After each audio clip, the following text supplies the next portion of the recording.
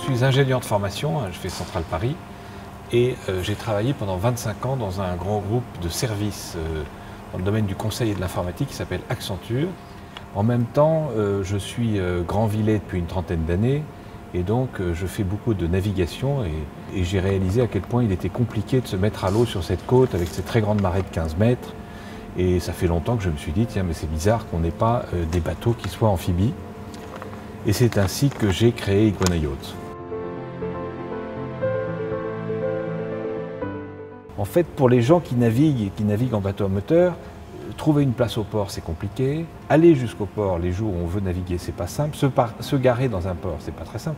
Manœuvrer avec un bateau, si vous avez un grand bateau et nos prochaines versions feront peut-être 11 ou 12 mètres, c'est pas si simple au niveau d'un port. Donc tous ces éléments-là font que là, vous apportez une simplicité énorme et vous pouvez vous mettre à l'eau une, deux, trois, cinq fois par jour sans que ce soit un problème. Toute l'idée, c'était de dire comment est-ce qu'on peut faire pour avoir un bateau qui aille sur mer et qui, pas, euh, qui soit très performant, qui soit très beau et qui permette de remonter simplement sur les plages. Euh, il y a une très grande diversité d'usages de ce système à mobilité terrestre. Il y a des usages pour la grande plaisance, ce sont les tenders de yacht, les annexes qui permettent de débarquer à pied sec. Il y a les gens qui ont des villas le long des plages et qui finalement euh, peuvent mettre leur bateau dans leur jardin. Il y a des usages professionnels, il y a des usages militaires il y a un très grand nombre d'usages possibles.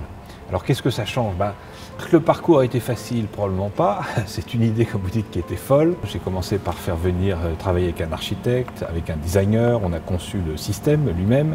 Puis ensuite, il faut effectivement rassembler des fonds. Alors moi, j'avais quelques moyens pour lancer euh, la machine. Il y a tout un travail de bureau d'études qui a été réalisé. On a fait un prototype, celui-là en est un. Et c'est ainsi que la machine euh, se lance avec la création d'une société en 2008 et puis le premier prototype est sorti fin 2011 et le deuxième fin 2012. Voilà. Et la commercialisation a démarré l'année dernière, euh, en 2013. La société va faire euh, près d'un million de chiffres d'affaires cette année et je pense euh, le double ou le triple l'année prochaine.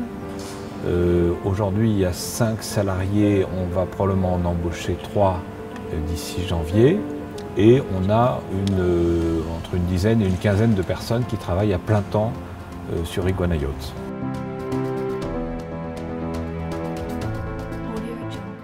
Oui, ce concours, c'est une manière d'abord de, se faire connaître. Et puis quand on est au bout du monde, que ce soit à Abu Dhabi, aux États-Unis ou ailleurs, on dit toujours, bah oui, on est implanté à Caen, euh, on est en Basse-Normandie, c'est pas très loin du Mont-Saint-Michel, c'est les plages de débarquement.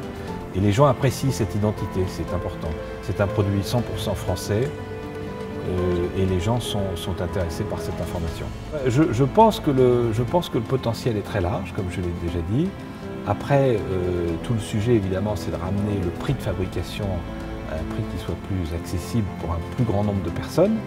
Euh, et ce que je souhaite, bah, c'est que le, le partenariat, l'échange avec la région, Basse-Normandie dans son ensemble, que ce soit la ville de Caen, dans laquelle on est très bien accueilli, euh, les organismes différents, euh, la ville de Granville, que tout, ce, tout cet écosystème et nous-mêmes puissions travailler ensemble de façon harmonieuse pour le plus grand bien de l'entreprise et probablement aussi de l'emploi et du développement économique de la région.